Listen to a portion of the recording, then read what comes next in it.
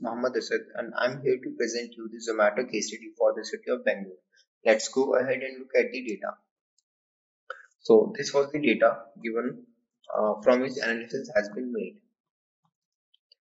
Now comes the business objectives. Objective, objectives that have been taken into consideration are what could be the best locations, which cuisine should be emphasized more while opening new restaurants, Basically, menus and cost can easily be decided while looking into the analysis.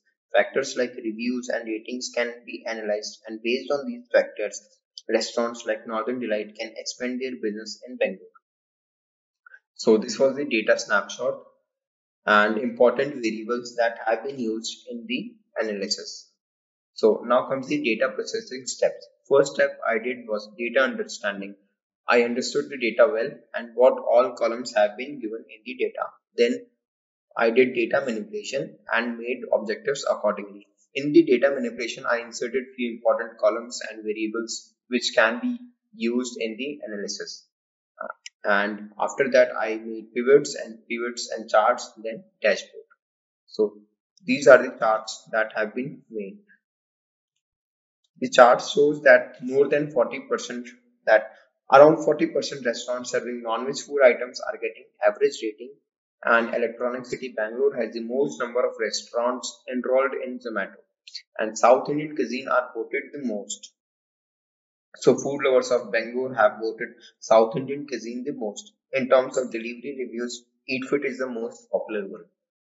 This is the snapshot of dashboard. Dashboard I have made from these pivots and charts. So as we can see that uh, I've used two slicers rating test and rating text and average cost. Now, now comes the business insights.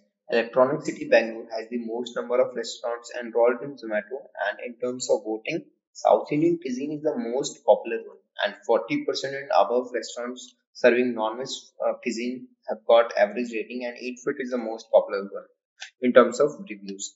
So overall conclusion is that Northern Delight can open new restaurant in Electronic City Bangalore as based on the insights.